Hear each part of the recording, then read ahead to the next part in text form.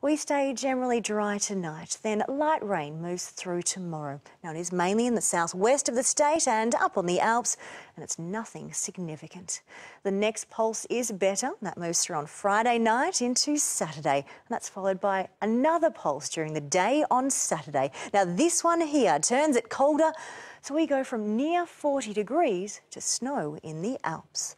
Then we're in a southwesterly airflow for a few days with further cold fronts keeping those showers coming. Around the nation tomorrow, Perth showers are likely. It's 22. Adelaide, they've been over 30 for four days and two of them 36 degrees. But tomorrow, just 22. Heat is returning to Sydney and Brisbane is partly cloudy.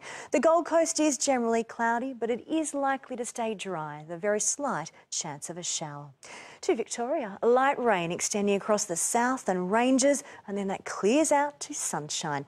Now, this trough has no cold air. It is is staying warm to hot in northwesterly winds. And these winds may be strong enough to do damage in these areas tomorrow. Closer inland, the risk of damaging winds just grazes outer northern suburbs. Light rain moves through in the late morning to early afternoon, then it rapidly clears and turns sunny and warm. It is a top of 28 in the city. Light rain around lunchtime, then bright, warm sunshine and gusty northerly winds.